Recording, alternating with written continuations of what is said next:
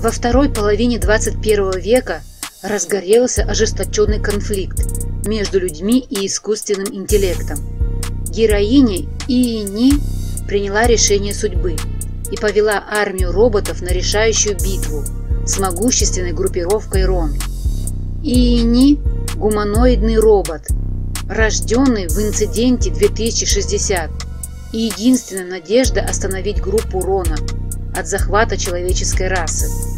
Она выросла на улицах и на черном рынке роботов. В случайном конфликте она была арестована группой Рона и узнала правду о своем жизненном опыте.